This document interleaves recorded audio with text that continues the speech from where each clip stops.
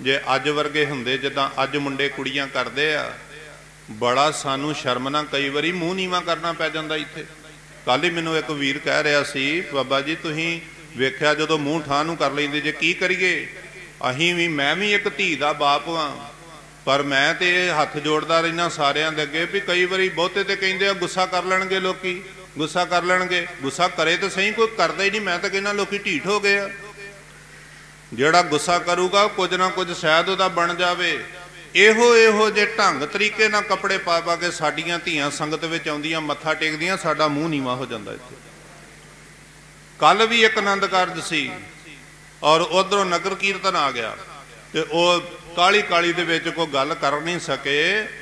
ਸਾਡੀ ਸਾਡੀ ਉਮਰ ਦੀਆਂ ਕੁੜੀਆਂ, ਅਸੀਂ ਹੁਣ ਮੁੰਡੇ ਨਹੀਂ ਰਹੇ, ਜੇ ਕੋ ਆਖੀਏ ਸਾਡੀ ਉਮਰ ਦਾ ਭਾਵ ਕਿ ਸਾਡੇ ਸਾਡੇ ਵਿਆਹੀਆਂ ਕੁੜੀਆਂ ਜਿਹੜੀਆਂ ਨਾ ਇਹੋ ਇਹੋ ਜੇ ਭਾਰਤੀ ਬਾਜ਼ਾਰ ਨੇ ਸੂਟ ਕੱਢ ਦਿੱਤੇ ਨੇ, ਜਿਨ੍ਹਾਂ ਸੂਟਾਂ ਦੇ ਨਾਲੋਂ ਚੁੰਨੀਆਂ ਲਾ ਲੀਆਂ ਨੇ ਕੱਲੇ ਸੂਟ ਹੀ ਆ।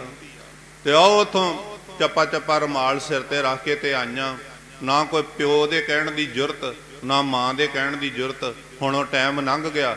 ਪਹਿਲੋ ਲੋਕੀ ਹੁੰਦੇ ਸੀ, ਜਦੋਂ ਚੌਂਕੇ 'ਚ ਵੀ ਬੈਠੇ ਹੋਈਦਾ ਸੀ ਨਾ, ਤੇ ਇੱਕ ਪ੍ਰਸ਼ਾਦਾ ਛਕ ਲਿਆ ਵਾ ਤੇ ਲਾਗੇ ਬਾਪ ਬੈਠਾ ਹੋਇਆ, ਸਾਨੂੰ ਆਪਣਾ ਪਤਾ।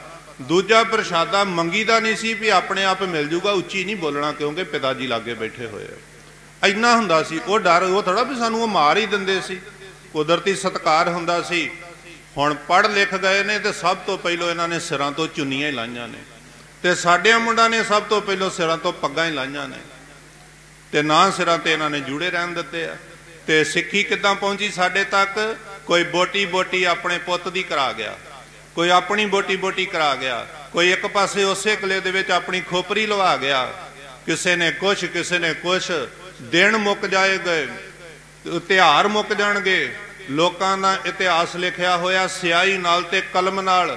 ਮੈਂ ਆਪਣੇ ਵੀਰਾਂ ਨੂੰ ਕਹਿਣਾ ਚਾਹੁੰਦਾ, ਤੁਹਾਡਾ ਇਤਿਹਾਸ ਸਿਆਹੀ ਨਾਲ ਨਹੀਂ, ਖੂਨ ਨਾਲ ਤੇ ਕਲਮਾਂ ਨਾਲ ਨਹੀਂ, ਕਿਰਪਾਨਾਂ ਨਾਲ, ਰੰਬੀਆਂ ਦੇ ਨਾਲ ਚੜਖੜੀਆਂ ਦੇ ਨਾਲ ਜੀਂਦਿਆਂ ਜੰਡਾਂ ਨਾਲ ਬੰਨ ਬੰਨ ਕੇ ਸਾੜਨ ਵਾਲਿਆਂ ਉਹਨਾਂ ਕਲਮਾਂ ਦੇ ਨਾਲ ਇਤਿਹਾਸ ਲਿਖਿਆ, ਜਿਹੜੀਆਂ ਦੁਨੀਆ ਦੇ ਲੋਕਾਂ ਕੋਲ ਕਲਮਾਂ ਹੈ ਨਹੀਂ।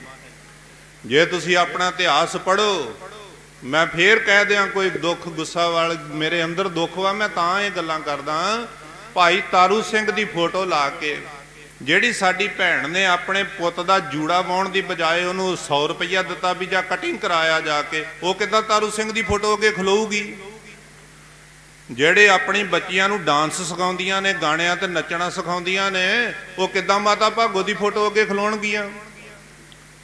ਇਹ ਗੱਲਾਂ ਹਵਾਈ ਨਹੀਂ ਗੀਆਂ ਇਹਨਾਂ ਗੱਲਾਂ ਨੂੰ ਜਿਹੜਾ ਮੰਨੇਗਾ, ਉਹ ਹੀ ਗੁਰੂ ਗੋਬਿੰਦ ਸਿੰਘ ਦੀ ਧੀ ਆ ਤੇ ਉਹ ਹੀ ਗੁਰੂ ਗੋਬਿੰਦ ਸਿੰਘ ਦਾ ਪੁੱਤ ਵਾ। ਨਹੀਂ ਤੇ ਮਹਾਰਾਜ ਨੇ ਕਹਿ ਦਿੱਤਾ ਸੀ, ਦੁਨੀ ਚੰਦ ਚਲ ਗਿਆ ਸੀ, ਮਾਰੇ ਕਹਿੰਦੇ ਸੀ, ਕੋਈ ਗੱਲ ਨਹੀਂ, ਇਹ ਦੁਨੀਆ ਨਾਲ ਰਲ ਗਿਆ, ਮਰ ਇਹ ਵੀ ਜਾਊਗਾ। ਤੇ ਦੁਨੀਆ ਤੋਂ ਬਚਿੱਤਰ ਸਿੰਘ ਵੀ ਚਲਿਆ ਜਾਏਗਾ, ਜਿਨੇ ਹਾਥੀ ਮਾਰਿਆ ਸੀ।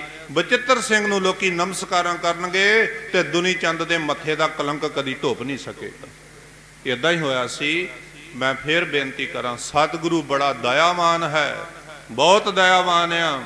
ਗਰੀਬਨਵਾਦੀ ਕਹਿੰਦੇ ਨੇ, ਸਤਿਗੁਰ ਖੋਟਿਓਂ ਖਰੇ ਕਰੇ, ਸ਼ਬਦ ਸਵਾਰਨ ਹਾਰ ਮੇਰੇ ਵਿੱਚ ਵੀ ਖੋਟ ਵਾ, ਤੁਹਾਡੇ ਵਿੱਚ ਵੀ ਜੇ ਕਿਸੇ ਵਿੱਚ ਕੋ ਥੋੜੀ ਬਹੁਤੀ ਊਣਤਾਈ ਆ, ਤੇ ਗੁਰੂ ਅੱਗੇ ਤਰਲਾ ਕਰੀਏ, ਮਹਾਰਾਜ ਦਇਆ ਕਰੋ, ਸਾਨੂੰ ਉਹ ਮਤ ਦਿਓ, ਜਿਨ੍ਹਾਂ ਨਾਲ ਗੁਰਸਿੱਖੀ ਕਮਾ ਸਕੀਏ, ਤੇ ਬਸ ਕਰੋ, ਮੈਂ ਉਦੋਂ ਵੀ ਆਖਿਆ ਸੀ, ਕੀ ਲਓਗੇ ਦਾੜੀਆਂ ਕੱਟ ਕੇ?